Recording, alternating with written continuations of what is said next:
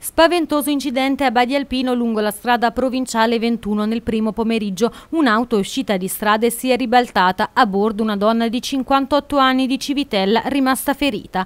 La donna è stata trasportata alle scotte di Siena in codice rosso, ha riportato traumi all'addome, alla schiena e agli arti inferiori. Sul posto i vigili del fuoco che hanno estratto la 58enne dall'abitacolo, i carabinieri per i rilievi di legge ed i sanitari del 118. La donna è stata trasferita in elicottero alle scotte di Siena.